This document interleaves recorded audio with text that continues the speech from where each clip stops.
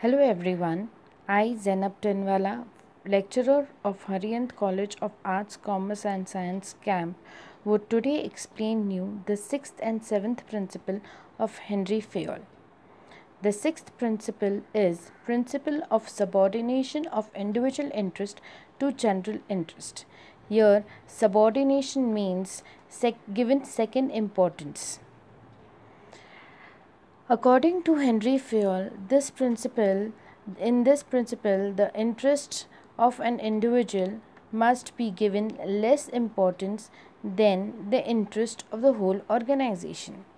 While taking decisions in the organization, the manager should always consider the interest of the whole group rather than the interest of a single employee.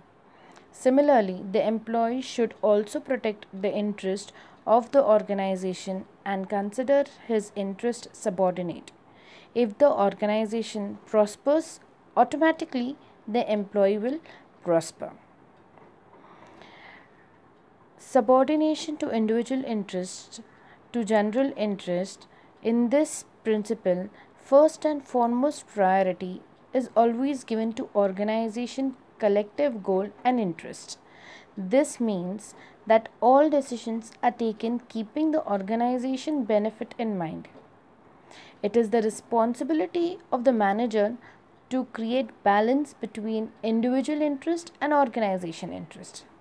If he cannot balance both the interest, then he has to sacrifice his personal interest. The manager has to prepare the mental attitude of the worker in such a way that the worker ignores their personal interest and concentrates to achieve the organizational goal.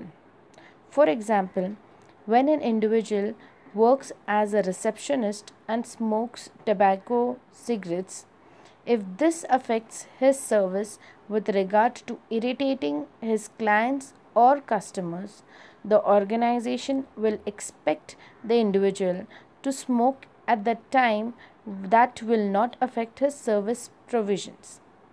Another example is while working for overtime. Many individuals have to face many problems while working for overtimes, but still they have to work as the organization demands them to work.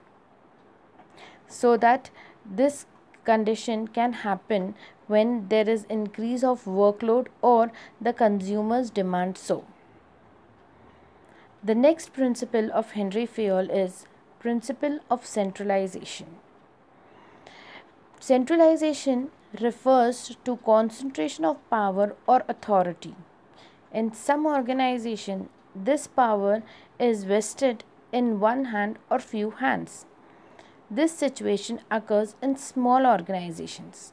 But if the size of the organization is large, then centralization becomes difficult. Then there is a decentralization of power or authority. The power is given to different people. Example, in large organizations, there are department heads or managers handling different tasks or line of supervisors. According to this principle, there must be a proper balance between centralization and decentralization in the organization. This is to be done according to the size of the organization, nature of activity, etc.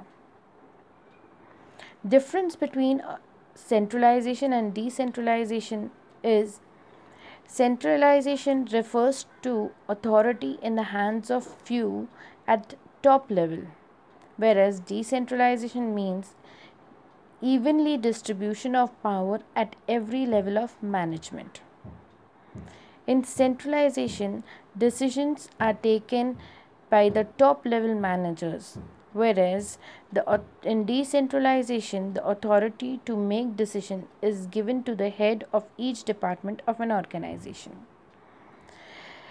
Centralization is usually followed in small organizations and decentralization is followed in large organizations.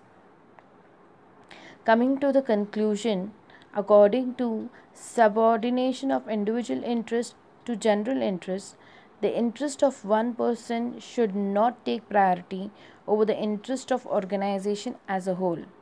And according to the principle of centralization, a company must not completely be centralized or completely decentralized, but there must be uh, both depending upon the nature and size of the organization.